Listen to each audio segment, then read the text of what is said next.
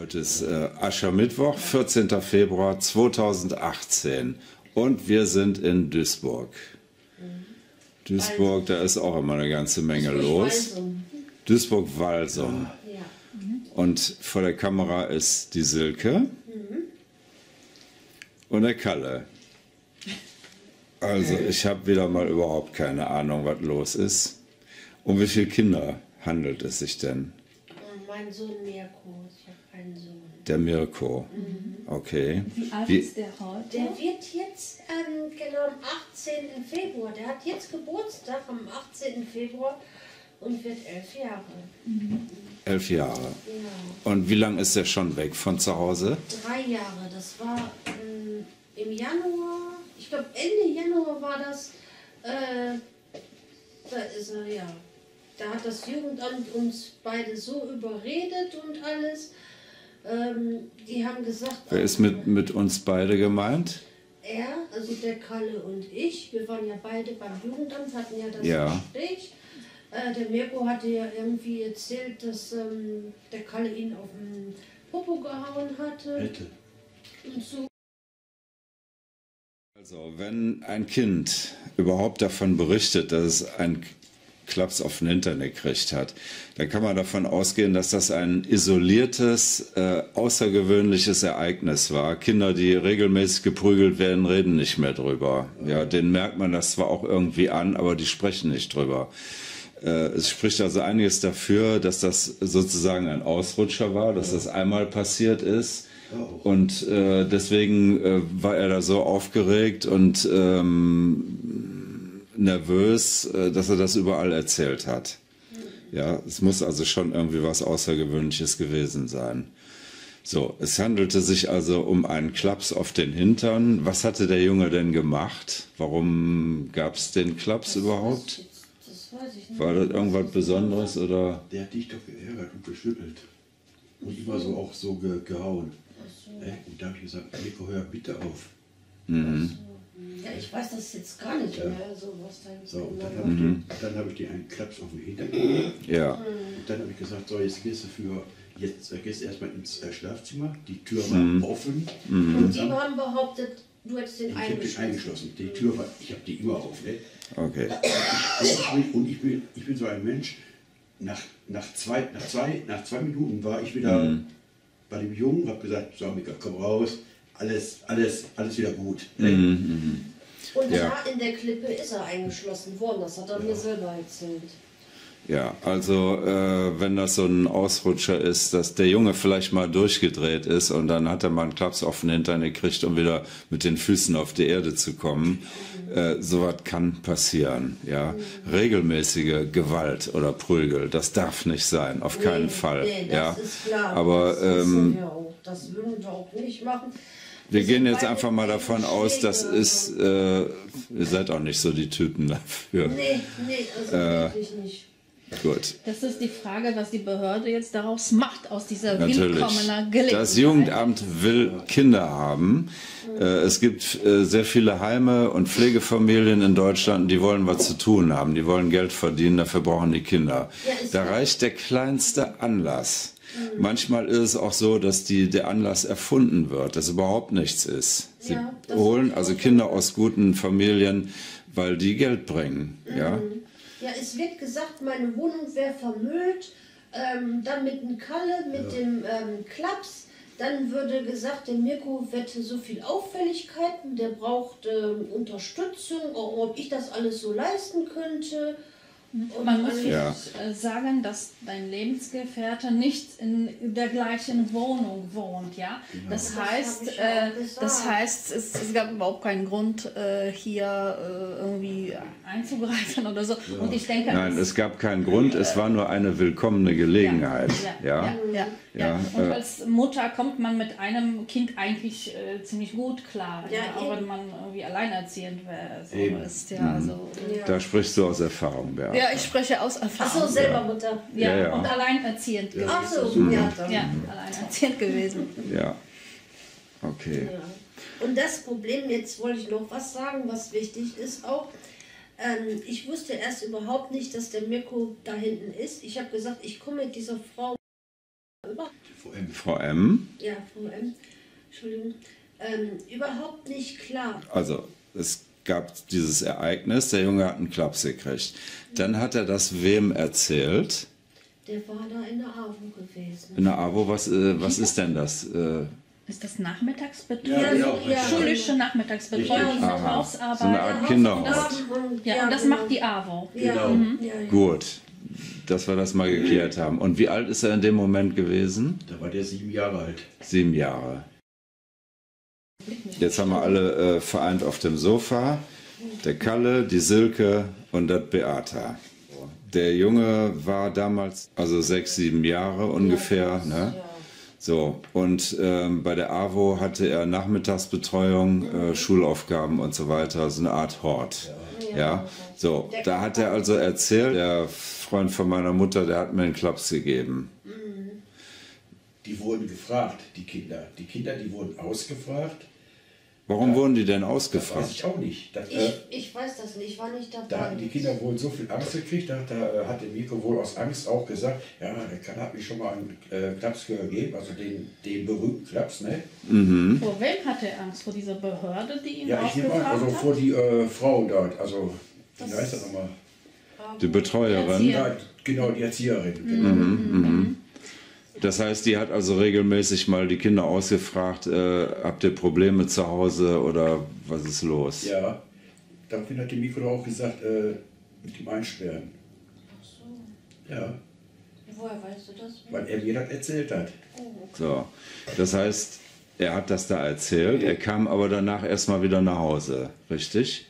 Ja, der war ja nicht jetzt da, der ist ja abends sowieso nach Hause gekommen. Ja. Der hat da jetzt nicht. Der war nur Nachmittagsbetreuung Ja. und dann kam der immer nach Hause Abends danach. kam der nach Hause. Ja, und was hat er dann an dem Tag erzählt? So, an dem Tag hat er das erzählt mit dem Klaps, ne? Mhm. So, und da, da ist die AWO Hat äh, das, ähm, zum Jugendamt, ja, ja, da ist die AWO, hat das Jugendamt angerufen und das Jugendamt hat mich angerufen. Mhm. Dann mussten wir da hinkommen. Da musste ich irgendwie noch unterschreiben, dass der Kalle ihn nicht mehr alleine sehen darf, Ja. nur noch in Begleitung. Ja.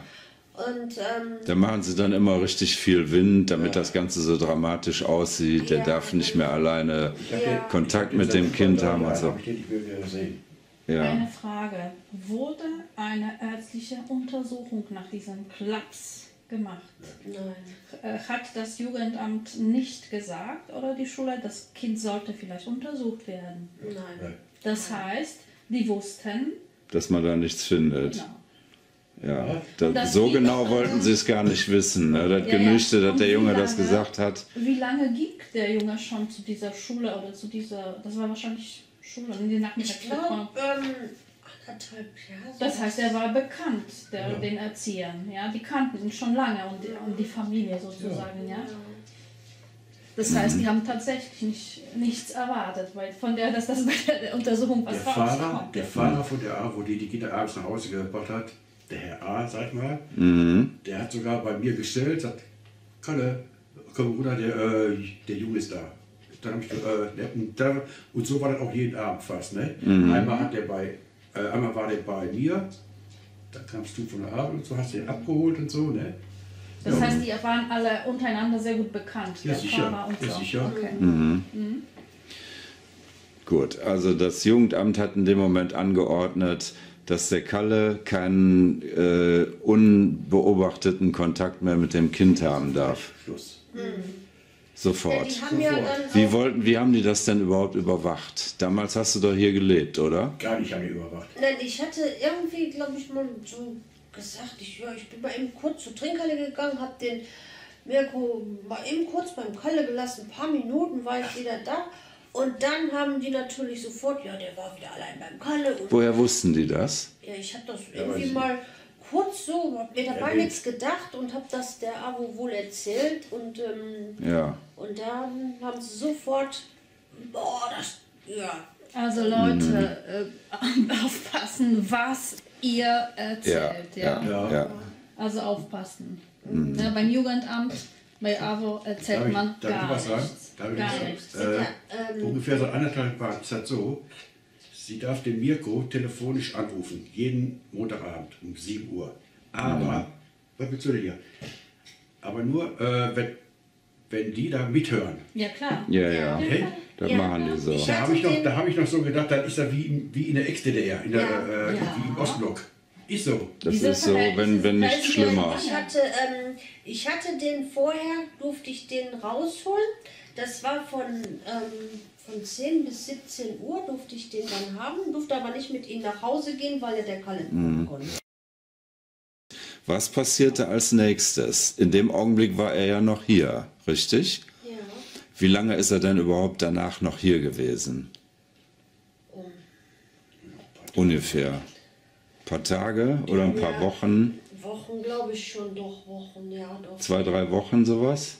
Ja, ich weiß nicht, richtig genau weiß ich das jetzt nicht Nein, mehr. Ist egal. Ich- Auf jeden Fall war er noch eine Zeit lang hier. Ja. Wie ist das denn abgelaufen, dass er euch weggenommen wurde? Wie ist das abgelaufen? Das, ähm, Das Jugendamt hat uns abends eingeladen. Mhm. Am Vortag, wir äh, sollten am nächsten Tag kommen, abends. Mhm. So, da müsst, wir waren total perplex. Die haben uns Blätter hingeschoben. Das müssen wir unterschreiben, das müssen wir unterschreiben, das und das und das. unterschreiben, unterschrieben habe ich einen anderen Tag. Wir haben Ja. quasi alles unterschrieben, also Sie, ne? Ich habe das aber einen anderen Tag, weil ich Warum habt ihr, warum habt ihr das denn gemacht? Aus Angst.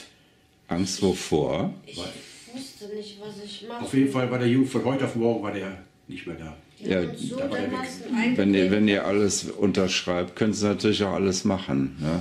Das ist euch in dem Moment nicht bewusst gewesen. Ja. Hast du das überhaupt gelesen, was du unterschrieben hast? Nicht wirklich. Ja. Äh, dann ist es natürlich auch letzten Endes für die Anwälte schwer, euch da wieder herauszuhelfen. Ähm, das soll aber auch den Zuschauern eine Lehre sein. Ja? Die, das sind immer Überraschungsangriffe. Da kommt der Staat ähm, in, in, in äh, Form von Polizei oder Staatsanwaltschaften oder Jugendamtleuten, die sind es immer als erstes, ja, und sie unterschreiben das jetzt mal hier und dann machen die meisten. Und dann unterschreiben sie, dass sie auf das Sorgerecht verzichten, auf das Aufenthaltbestimmungsrecht, dass sie damit einverstanden sind, dass das Kind ins Heim kommt. Und dann ist es gelaufen, ja. Und jeder Richter, jeder Familienrichter sagt nachher, ja, ihr habt das doch unterschrieben. Ihr steht doch, Ja, dass ihr einverstanden wart. noch unterschreiben, dass er in der anderen Einrichtung ist. Das habe ich nicht gemacht. Ja. Deswegen sollen, wollen die mir jetzt das Sorgerecht wegnehmen. Aber wir gehen Ja, das ist, das ist alles, das ist eine Drohgebärde. Ja, wenn sie das nicht unterschreiben, hat sie ja noch. hat Die sie noch. wollen mir das wegnehmen jetzt. Ja, dann, äh, das, können, nicht das kann aber wiederum nur das Familiengericht. Ja. Das kann nicht das Jugendamt machen. Die wollen das zwar, aber das muss vor Gericht verhandelt Ja, werden. das, wir haben ja jetzt am 19. Jetzt am Montag. Ja. Da habt ihr eine Verhandlung beim Familiengericht. Ja. Nachdem der Junge also schon drei Jahre weg ist. Drei Jahre, richtig? Ja. Gut, äh, um nochmal in der Reihenfolge zu bleiben. Äh, wie ist die Herausnahme abgelaufen? Wie ging das? ja, dass er einfach nicht mehr wieder zurückgekommen ist. Also der war ja. Die haben ihn von, von, von dem Hort aus direkt, mitgenommen. äh, direkt ähm, im Heim dann, ja. Also der ist gar nicht mehr hier hingekommen. Also. Ja. Und wie wurde das erklärt? Wie wurde das euch mitgeteilt? Ja, durch diesen Gespräch. Die haben uns so dermaßen eingeredet, dass ich dann hinterher gesagt habe. Ich äh, wusste gar Moment, nicht. du welches Gespräch? Es- Du hast doch gesagt, du, du solltest irgendwas unterschreiben, ja? Hast du aber sofort nicht gemacht, sondern einen Ja, Tag hatten später. mir ein- Und dann war das Kind weg. Wann danach war das Kind weg? War das am gleichen Das Tag? am selben Tag, Am am selben selben Tag, der ging, der war ja in der AWO und der ist ja gar nicht mehr wieder nach Hause Ah, gekommen. Ja, okay. Mhm, okay. Das heißt, du hast wahrscheinlich Zustimmung äh, unterschrieben, vermute ich, dass er fremd untergebracht wird. Vermute ich. Stimmt das? Habt ihr denn Kopien von dem, was ihr da unterschrieben habt? Aber die, nee, haben wir gar nicht. Ihr wisst also gar nicht, was ihr unterschrieben habt. Das heißt, das Jugendamt, wenn jetzt der Gerichtstermin ist, kommt mit diesen ganzen Sachen. Ihr wisst gar nicht, was ihr unterschrieben habt. Äh, Sie müssten euch davon aber eigentlich Kopien geben. Ja. Äh, Das wird dann natürlich dem Familiengericht präsentiert. Die haben dieses und jenes unterschrieben. Ihr könnt euch ja so noch nicht mal auf die Verhandlung vorbereiten, weil ihr wisst gar nicht, was haben die anderen eigentlich in der Hand. Ja. Ähm, Ich sage das hier in dieser Deutlichkeit, damit die Zuschauer merken, worauf sie achten müssen. Das ist wichtig. habt ihr einen Anwalt, der euch da vertritt. Ja. Und hat dieser Anwalt sich mal darum bemüht, herauszufinden, was du da eigentlich unterschrieben hast? Ja, das macht er alles. Ja, äh, Moment, das muss er aber mit euch besprechen. Nicht, das macht er alles und ihr wisst gar nicht, was los ist. Also jetzt äh, haben wir äh, ähm, mal kurz geklärt, das können, haben die Zuschauer nicht gesehen. Äh, wir wissen jetzt, welcher Anwalt das ist. Ähm, der ist okay, ja. Äh, das war mir vor dem Gespräch nicht bekannt, aber jetzt weiß ich das. Und da seid ihr in guten Händen. Aber grundsätzlich gilt, äh, nicht alle Leute haben gute Anwälte oder auf jeden Fall jeder, der zum Anwalt geht, der sollte auch haargenau wissen, was läuft überhaupt, was macht der Anwalt. Die Schriftsätze müsst ihr auch kriegen. Okay. Man Das muss sagen, dass das. aber die Mutter sollte auch Bescheid wissen, ne? Ja. Ja. So, Beate. Äh, man soll betonen, dass das nicht ein Anwalt ist, der hier ortsansässig ist. Ja, das ist wichtig. Ja. Das ist ein Fremd, ein Anwalt, was Richtig. etwas weiter weg von hier ist. Sonst. Äh, Weil da kann man dann Erfolg. davon ausgehen, er wird auch nicht von den Behörden bestochen oder von der, von der äh, ebenfalls ortsansässigen Justiz unter Unter Druck Druck. gesetzt. Ja, die können den Anwälten mächtige Probleme machen, wenn die gegen die Behörden vorgehen. Ja, das ist äh, äh, in einem der letzten Beiträge auch deutlich gesagt worden. Die Richter haben einen Ermessensspielraum und können äh, ähm, ohne dass man ihnen äh, hinterher etwas vorwerfen kann, dafür sorgen, dass der Anwalt jeden Prozess verliert, wenn er nicht so macht, wie die Leute das wollen. Deswegen immer Anwälte nehmen, die von woanders herkommen. Ist wichtig. Ja. Ähm, so, jetzt geht gerade ein Telefon. Ach, das war nur eine WhatsApp. Das Also, okay. ähm, okay, also der Junge ist jetzt seit drei Jahren weg. ja. Ähm, nachdem der herausgenommen wurde, wie lange hat es gedauert, bis ihr den überhaupt wiedergesehen habt? Zwei Wochen. Ja, er ja gar nicht Ich mehr. gar nicht ich, äh, Das wurde verboten. Ja. von wem? vom Vom äh, Jugendamt. Jugendamt. Von den Herren gewissen G. Aha, äh, es durfte also noch nicht mal einen Besuchskontakt geben, auch keinen Ich darf- Bewachten. Ich darf nicht telefonieren, gar nichts. Ich Ja, darf dir noch nicht mal ein Geschenk schicken. ja. Es könnte nämlich dazu führen, dass der Junge irgendwann sagt, er ist gar nicht so schlimm und das hat er nur einmal gemacht und ich freue mich, wenn der kommt und so. Das würde nicht Das- ins Konzept passen. Deswegen machen sie das Ja. so. Ne? Die haben sogar in der, ähm, der Klippe, wo er vorher war, in den anderen Kinderheimen, haben sie Rollenspiele gemacht und da ist aber sogar rausgekommen, dass der Kalle für ihn eine, Vertrauenspers eine Vertrauensperson ist. Ja. Ja. Und, ähm, und, Und- das wurde alles hinterher unterm Tisch gekehrt. Ich hätte eine Frage dazu. Hattet ihr damals äh, einen Anwalt zu dem Zeitpunkt? Ja, wir hatten erst die. Also da frage ich mich natürlich, wenn einer beschuldigt wird, du, dann muss der Anwalt äh, dich beraten und sagen, jetzt stell mal gegen dich Strafanzeige, ja, Ja. Selbstanzeige, Damit das Ganze aufgeklärt damit das wird. aufgeklärt Ja, dazu habe ich was zu sagen. Äh, also, der Herr K. hat mir gesagt, Jugendamt hätte gegen mich Strafanzeige gestellt.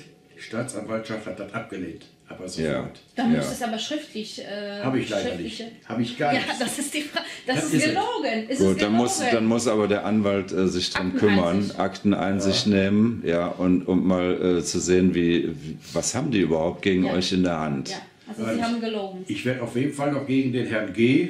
vom Jugendamt Klage einreichen.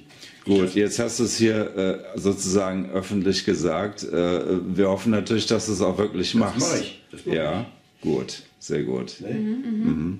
Also in solchen Situationen für die Zuschauer am besten, äh, ich frage mich, warum das Kind ärztlich nicht untersucht wurde. Ja, das muss, musste man sofort machen und abfotografieren, zur eigenen Sicherheit vor allem. Ja, und zweitens Strafanzeige gegen sich selbst Ja. und damit die gezwungen werden, überhaupt zu ermitteln. Ja. Ja, sonst, äh, sonst Selbstanzeige. ja, wenn das wirklich, wenn, wenn das Kind wirklich zu Schaden gekommen wäre, hätte das Jugendamt längst eine Strafanzeige gestellt. Jetzt noch mal kurz eine Frage an die Mutter. Äh, Du hast also Kontakt mit deinem Sohn hin und wieder. Ich Begleiteten ihn- Umgang? Das war, ähm, Ich hatte ja vorher ähm, auch ähm, einmal im Wechsel war das, dass ich, ähm, äh, wie soll ich sagen, einmal war das anderthalb Stunden begleitet in der Klippe und dann äh, eine Woche Pause und dann durfte ich den von 10 bis 17 Uhr holen. Ja. Also aber nicht nach Hause, sondern irgendwo in die Stadt oder so was essen mit ihm gehen. Und einmal habe ich dann irgendwie gedacht, ach, ne, bring mal eine, hat, ähm, eine Schokolade vom Kalle und so. Hat er sich so drüber gefreut und dann sagt er so, Mama, soll mal dem Kalle eine Karte schreiben? Und ähm, dann haben wir die, haben wir eine, ich sag, ja, warum nicht? Ich habe mir dabei nichts gedacht, ne? Haben wir zusammen eine Karte ausgesucht, zusammen geschrieben und alles.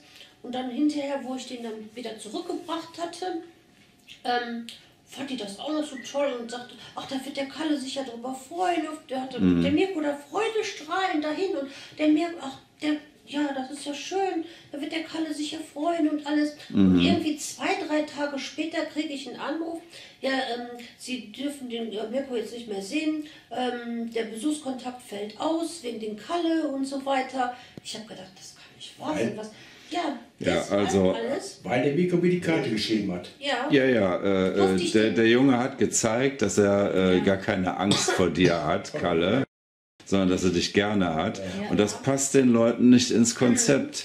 Sie wollen dich ja dämonisieren. Sie wollen dich als, äh, als unheimlich darstellen. Und, und es, es passt ihnen nicht, wenn der Junge sagt, dass er dich eigentlich gerne hat, weil äh, sie möchten dich jetzt gerne als gewalttätig darstellen. Dann hatten wir ein Gespräch, also nicht wir, sondern ich hatte irgendwann ein Gespräch im Jugendamt. Ähm, und ähm, dann ähm, wurde dann erzählt, Mirko würde wieder, Mirko würde einnässen, Mirko würde, ähm, wie heißt es, hätte Albträume, er wird quer im Bett sitzen und so weiter. Und die Jugendamt, wo die Klippe auch dabei war natürlich. Und ähm, alles Mögliche wurde erzählt. Dann habe ich den heimlich so gefragt, Mirko, nächst du wieder ein, hast du wieder Albträume und, und, und, und. Und dann sagte er mir, mach doch schon lange nicht mehr, Mann, nee, ich habe das schon nirgends nicht mehr. Und dann wusste ich sofort, dass das alles gelogen war. Aha. Ich habe den Mirko heimlich gefragt und dann Ja. wusste ich sofort, das war alles gelogen, das stimmt alles nicht. Mhm. Ja? Und dann habe ich, hat der Mirko mir auch gesagt, Mama, die reden mir hier alles ein, alles wird mir eingeredet, ja. Mhm. Das, ähm, ja auch. Und jetzt, ähm, Aber jetzt wisst ihr auch, warum sie diese Kontakte verhindern. Weil sie Angst davor haben, der Junge erzählt das. Und die Wahrheit soll nicht rauskommen. Das Jugendamt ist eine kriminelle Vereinigung. Ja. Da wird gelogen und betrogen, äh, dass sich die Balken biegen. In vielen Fällen macht die Justiz diese Scheiße mit. Und äh, äh, das wird sehr interessant sein, wie äh, der Termin am 19. verläuft, wie der Richter sich verhält. Das werden wir auch berichten, ja. Ähm, sehr gut, dass du die Wahrheit kennst, ja, dass der Junge mit dir gesprochen hat und noch eine Chance hatte, das zu sagen. Sie werden das Kind unter Druck setzen, dass es so, so etwas nie wiederholt, ja. Ähm, Kinder zur Unwahrheit zu zwingen, führt natürlich auch zu psychischen Problemen. Äh, Die müssen dann wiederum durch Therapeuten behandelt werden und das bringt extra Geld. Ja, das, äh, äh, diese Ungeheuerlichkeiten zahlen sich also doppelt aus. Äh, Das, das Kind äh, wird äh, von euch entfremdet und gleichzeitig muss man es therapieren. Dafür wird das gemacht. Ja. Ich habe noch eine Frage. Äh, wie wurde das offiziell begründet? Ich habe jetzt so verstanden, dass Mirko dann von zu Hause in Heim gebracht wurde oder in mehreren Heimen, weiß ich nicht. Wie wurde das offiziell begründet? Warum muss der Mirko äh, nicht bei, bei Mutter leben, sondern er muss in Heim? Wie wurde das begründet? Ja, Zu welchem Ziel? Was war ähm, das Ziel? Wegen meiner Wohnung, dann wegen ihn und Wer ist so. gefährdet? Durch mich. ja, ja, was ist denn hier mit der Wohnung nicht, nicht in Ja, Ordnung? verstehe ich auch nicht. Meine Wohnung wäre vermüllt und Nur weil es äh, Katzen hat, ne? da hat er schon mal Katzenstreu äh, Streu da irgendwie rum. Aber die Kinder, die mögen Tiere. Ja. Ja, der hat auch gefragt am Telefon. Ich habe im Moment nur äh, Telefonkontakt, weil ich kann einfach mit dieser Frau L, ähm, ähm, M vom Jugendamt, ich habe das auch gesagt, ich kann mit der Frau nicht. Das habe ich auch bei der Verfahrensbürgerin gesagt. Ich kann mit der Frau nicht. die hat ähm, bei den einen Gerichtstermin, da fing sie an, ach, soll ich auf Mirko warten? Ich habe gedacht, was soll das? Es ist doch mein Kind. Wieso will die auf mein Kind warten? Und dann fing sie an, ach, wie süß und ach, er will das doch nicht. Ich habe gedacht, was soll denn das? Was Hat will die- er nicht? Irgendwas hat der Mirko da erzählt. Ich weiß aber nicht mehr was. Ich kann dir sagen, warum sie auf das Kind unbedingt warten will. Das Kind soll sie sehen und soll sie spüren, dass falls er was Falsches sagt vor Gericht, ja, Damit er äh, davor dann, Angst dann hat. hat sie das gesehen, gehört und danach gibt es Konsequenzen. Ja, Ja, also dem Jungen wird vorher genau, äh, äh, das wird mit dem eingeübt, was er vor Gericht sagen darf. Ja, und, und dann, er wird auch richtig unter Druck gesetzt und diese Leute erscheinen dann auch vor Gericht. Du darfst den wahrscheinlich gar nicht sehen, ihr beide nicht, denn da würde er sich ja freuen und würde sich wohlfühlen oder bekäme überhaupt einen Gefühlsausbruch. Ja, äh, er sieht nur diese Leute, die für ihn gefährlich werden Ja. können. Ja, Ich und dann sagt er das, was das Jugendamt hören will. Und wahrscheinlich auch der Familienrichter. Nämlich, ich möchte nicht mehr zurück zu meinen Eltern, die sind nicht gut für mich und äh, Das, das habe ich befürchtet, dass das nämlich davon kommt.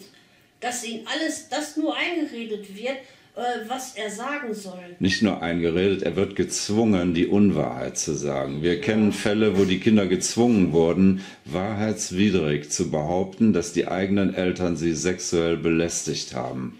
Das haben die uns erzählt. So etwas machen die, ja.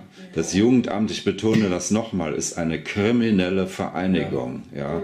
Die bringen den ganzen Staatsapparat in Verruf äh, und kein deutscher Politiker macht was dagegen, ja. Das ist eine unglaublich mächtige Mafia.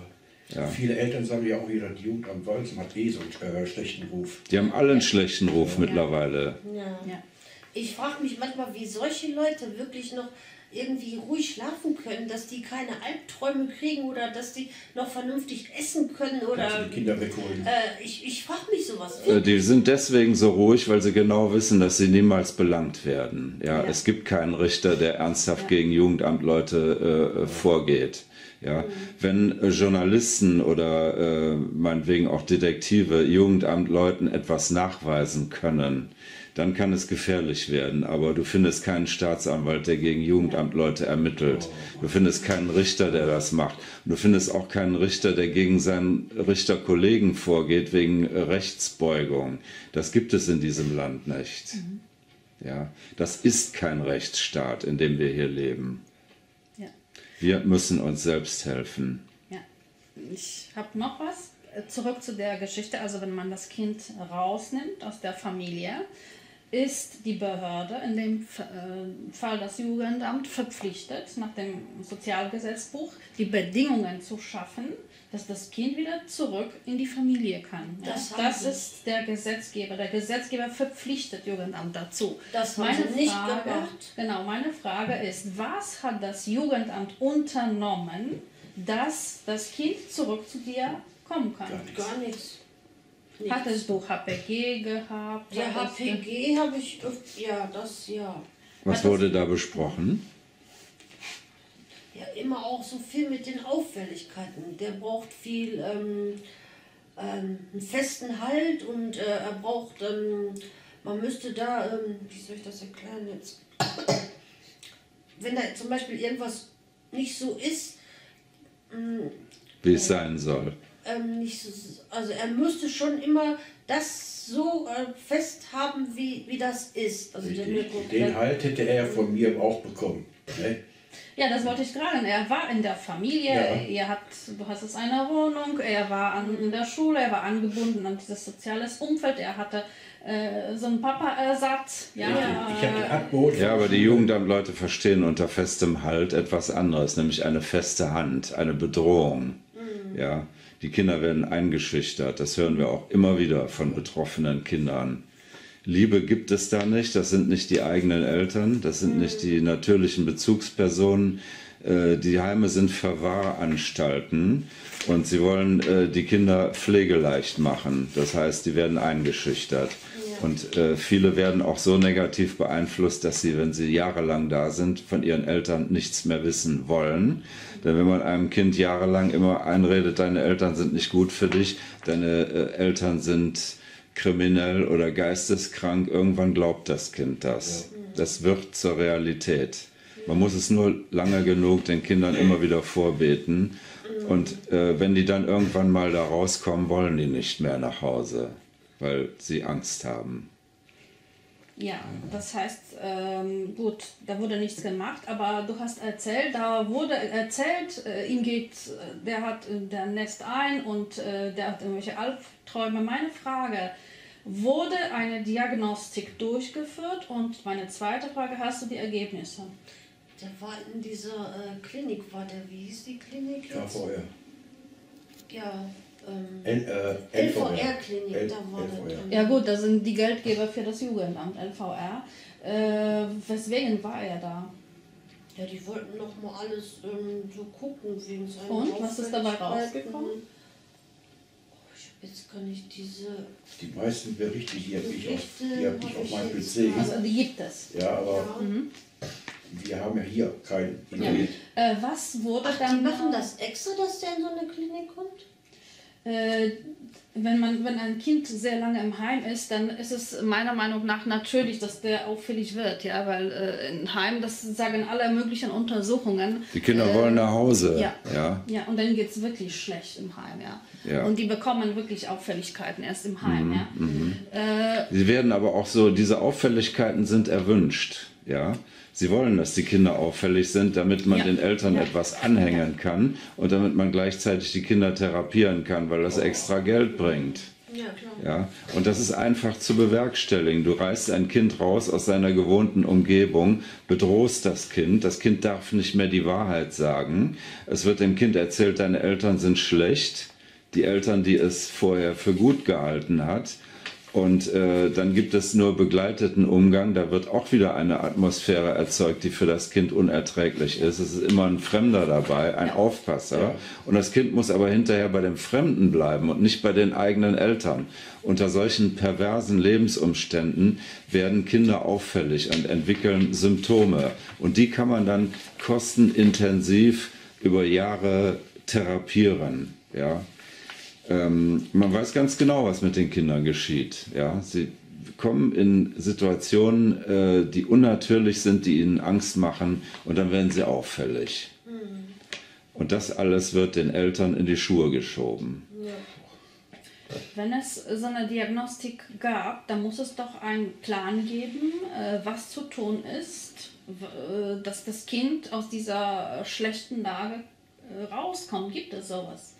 Nee, da haben wir vom Jugendamt noch äh, nie was gehört. Das heißt, die haben Wir äh, helfen für teures damit, damit Geld, gar äh, nichts. Ach, teures Geld Diagnostik gemacht, die haben für, teures Geld wahrscheinlich Heimunterbringung Ja. gemacht. Äh, wisst Ich ihr, was das kostet? ja, weiß ich. Ja, können wir das erfahren?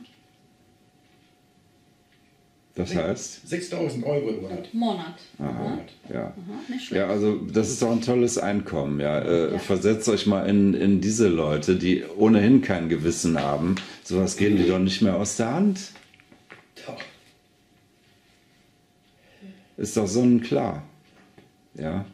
Und es gibt niemanden, der diese Behörde kontrolliert. Die können machen, was sie wollen. Und sie machen auch, was sie wollen. Ja. Ich frage mich manchmal, wieso es solche schlechten Menschen gibt. Solche schlechten Menschen, dass die kein Gewissen haben. Das verstehe ich wirklich nicht. Eigentlich nicht. Also so schlecht. Also einen gewissen Prozentsatz von. Kriminellen und Psychopathen gibt es in jeder Gesellschaft. Äh, Die Frage ist immer, wo rennen diese Leute hin? An die Hebel der Macht. Und wenn es eine Chance gibt, Macht auszuüben, ohne kontrolliert zu werden, dann könnt ihr euch vorstellen, wer, wer da den größten Appetit drauf hat. Welche Sorte von Leuten. Und mit denen haben wir es hier zu tun. Ja. Ja. Warum habt ihr eine Gerichtsverhandlung? Ja, die, das Jugendamt will, will mir das Sorgerecht wegnehmen. Und warum? Weil, weil ich da jetzt nicht unterschrieben habe. Was hast du nicht Die unterschrieben? Einrichtung. Dass der Mirko nach Köln kommt. Aha. Sie hat aus, äh, wenn der Mirko nicht zufällig gesagt hätte, dass er nach Köln Hürth kommt, Das hätte ich gar nicht erfahren. Ja, ich bin da Hätte in der anderen Ja. ähm, Einrichtung. Ich wollte den besuchen gehen und äh, kurz vorher kriege ich einen Anruf, dass der Mirko gar nicht mehr da ist. Ich habe ich hab gedacht, das kann nicht wahr sein. Da war der schon in der anderen Einrichtung. Ja. Und dann habe ich, ähm, dann habe ich den ja gesehen, da hatte der die Herzuntersuchung. Das war im November, da habe ich den letztes Mal gesehen. Da hatte der seine Herzuntersuchung. Da sollte ich unterschreiben, dass, ähm, dass er da bleiben Du hast kann. Saugerecht immer noch. Ja. Und äh, da fing der Mirko sofort an, bevor ich überhaupt, äh, bevor die mir überhaupt irgendwas geben können. Mama, unterschreibe ja nichts. Das ist ja wie eine Irrenanstalt. Die beschmeißen mich da, die bewerfen mich da. Ich krieg nachts keine Ruhe, gar nichts, Mama. Unterschreibe ja nichts, sagt er.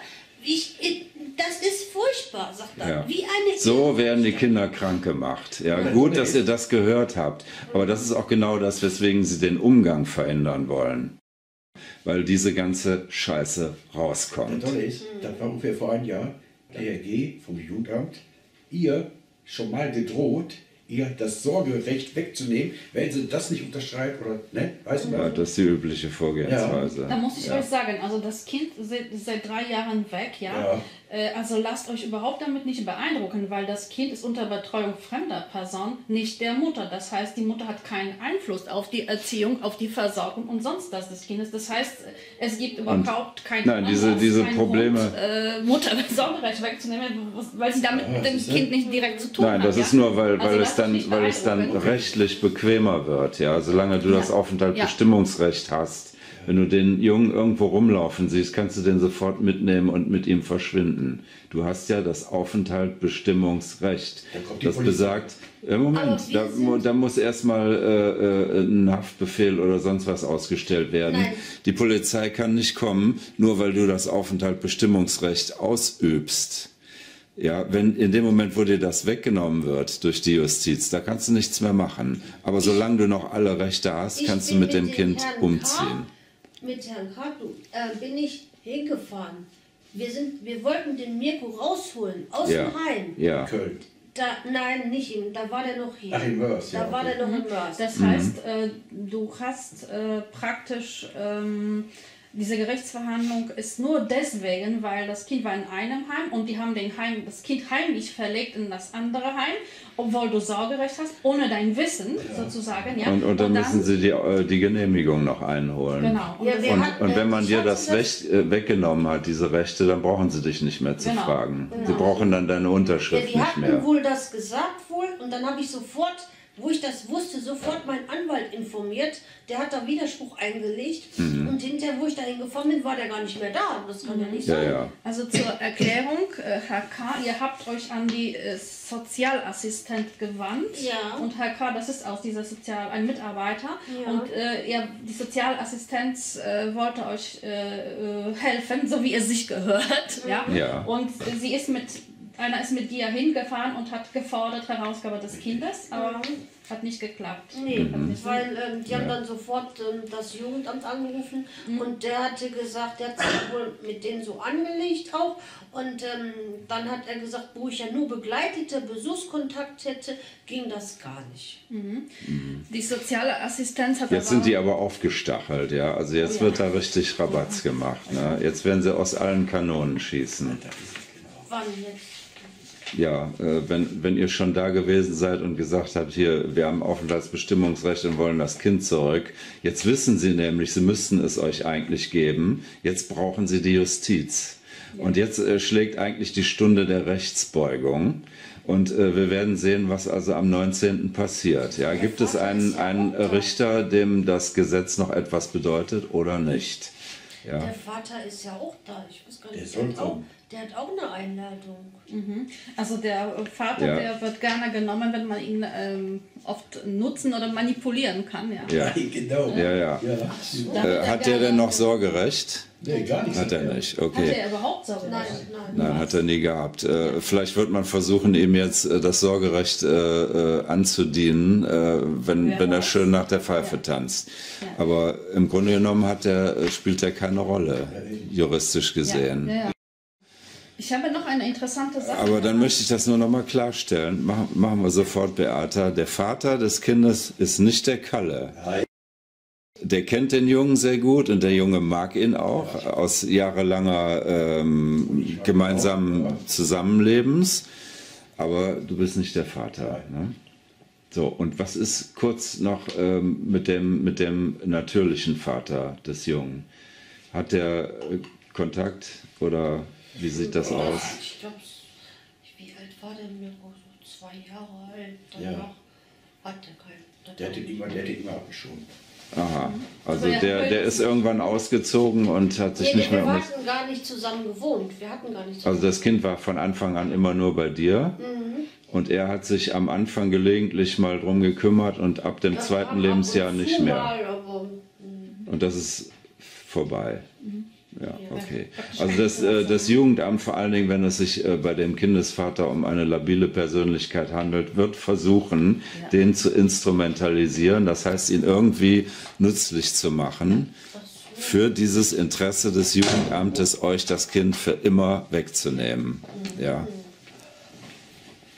Eigentlich ist der Auftrag des Gesetzgebers an das Jugendamt dafür zu sorgen, dass die Verhältnisse so weit wiederhergestellt werden, dass die Kinder zurückkommen können. Nur hier ist nicht wirklich etwas so schlecht gewesen, dass man die Berechtigung gehabt hätte, das Kind wegzunehmen und infolgedessen, das ist völlig umgekehrt, ja, sie wollen das Kind behalten ja. obwohl sie eigentlich dafür sorgen müssen, dass es zurückkommt. Deswegen wird man jetzt versuchen, euch zu verteufeln, euch als schlechte Eltern äh, äh, darzustellen, als eine Gefahr für das Kind. Ja, Die wirkliche Gefahr ist aber der Staat ja, genau, richtig. in Form des Jugendamtes. Ja, durch völlig verantwortungslose Mitarbeiter, die äh, äh, einem hohen Verdacht äh, unterliegen, hier in die eigenen Taschen zu wirtschaften. Diese Behörde wird nicht kontrolliert. Das heißt, auch eine mögliche Korruption wird nicht kontrolliert. Ja, es äh, wurde eben gesagt, 6000 Euro bringt das Kind monatlich.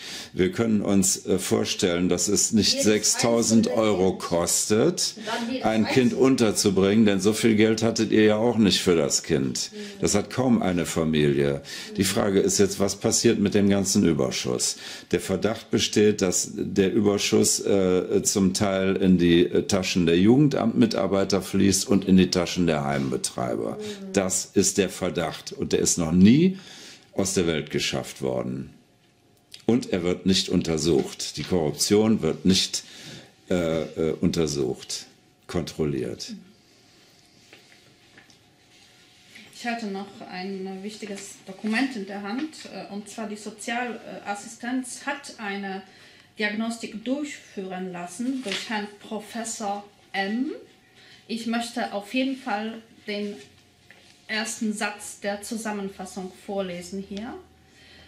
Bei Mirko liegt eine sekundäre Kindeswohlgefährdung durch eine nicht fachgerechte Fremdunterbringung vor.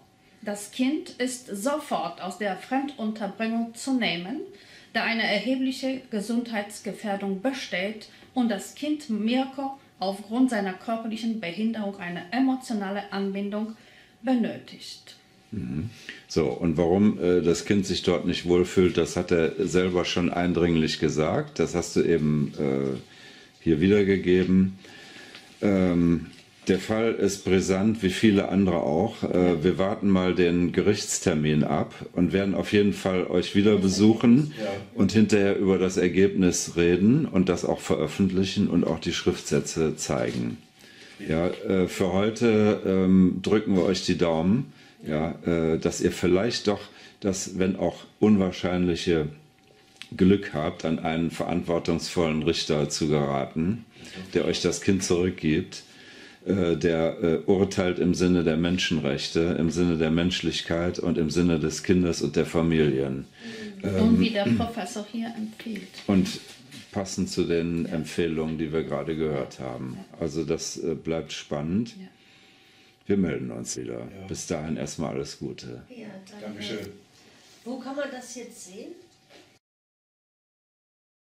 Das ist also die Silke mit ihrem Sohn Mirko, der eindringlich davon berichtet hat, dass er in der Obhut des Jugendamtes misshandelt wird. Er berichtet von Terror und dass er nie seine Ruhe hat, nicht schlafen kann und das gelogen wird. Wie heißt er mit vollem Namen? Mirko Bönke.